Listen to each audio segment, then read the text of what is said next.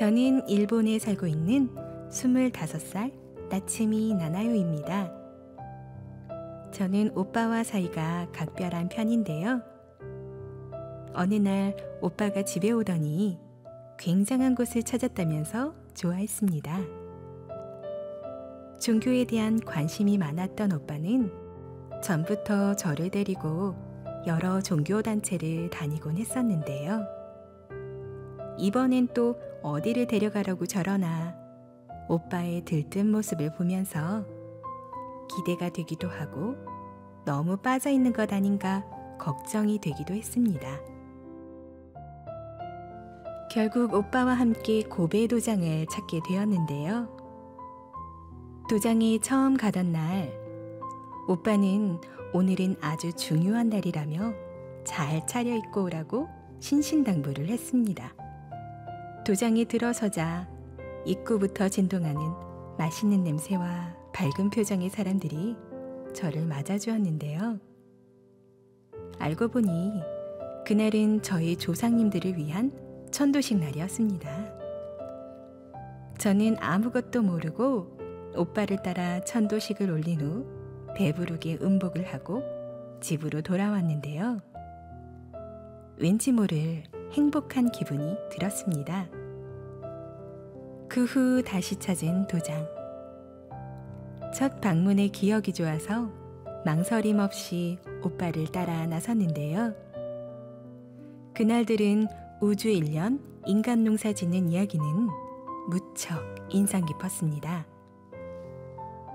인간은 우주의 자녀라는 사실과 지금의 때에 관한 이야기를 듣는 순간 사춘기 때부터 품어온 내가 태어난 목적은 무엇인가 하는 질문에 대한 해답을 찾은 느낌이었는데요. 오빠가 왜 이곳에 조상님을 모시고 입도까지 결심했는지 알 수 있었습니다. 그 후 오빠를 따라 받게 된 입도 교육. 제가 사는 일본은 지진이 작기 때문에 개벽에 관한 이야기에 더욱 관심이 갔는데요. 지진뿐만 아니라 최근 세계적인 격변이 우주의 계절이 바뀌는 과정에서 오는 개벽의 전조 현상이라는 것이 놀라웠습니다. 구원이 조상님의 손길에서부터 시작된다는 말씀도 인상 깊었는데요. 부모와 조상은 나의 제1의 하느님이라는 말씀에서 큰 감명을 받았습니다. 우주의 시간의 질서부터 최근 시사 이야기까지 상제님 진리 공부를 하면서 많은 것들을 배우게 되는데요. 아직 모르는 것이 많은 신입 도생이지만 진리를 마음에 잘 새겨서 소중한 사람들에게 전해주고 싶습니다.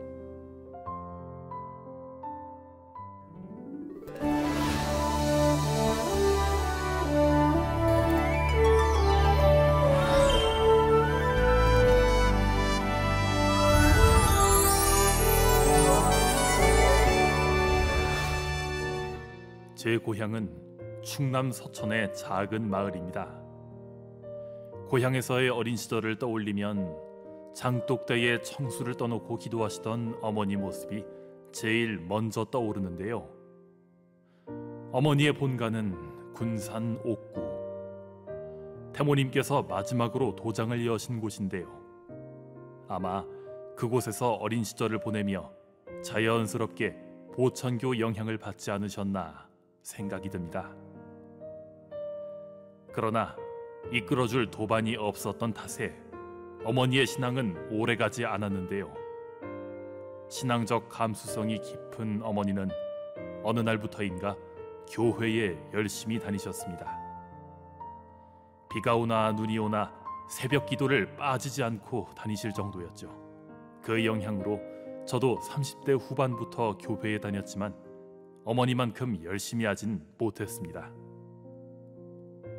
그러던 1991년 어느 날 우연히 보게 된 이것이 개벽이다 신문 광고. 대체 얼마나 좋은 책이기에 이렇게 광고까지 할까 하는 생각에 책을 사서 읽게 되었는데요. 그 속에는 한 번도 들어보지 못한 놀라운 소식이 담겨 있었습니다.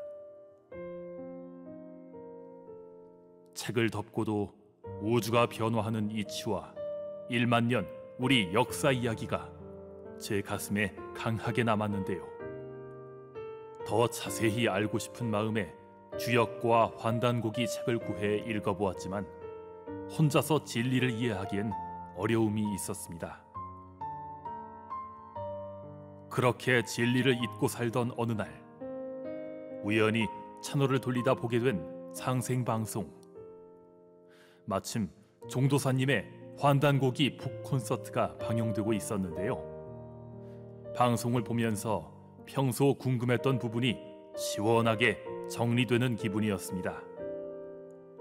그날 이후 우리 역사와 문화에 대한 관심이 높아져 월간 개벽지를 2년간 구독해 보기도 했는데요. 하지만 혼자서 진리 공부를 하는 것은 여전히 어렵게 느껴졌습니다. 그때마다 누군가 나를 이끌어 주었으면 하는 아쉬움이 컸는데요. 조상님의 손길이 깃든 듯 때마침 걸려온 전화. 대전에서 열리는 바른 역사 콘서트를 알리는 내용이었습니다.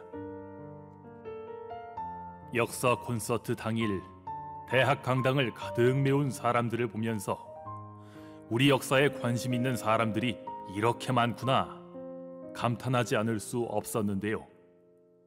상생 방송을 통해 우리 역사가 식민사학으로 얼룩져 있다는 사실을 알고 있었지만 직접 강연회에 참석해 들으니 더욱 그 심각성을 느낄 수 있었습니다. 그날을 계기로 포감님과 자주 연락을 하며 지냈는데요.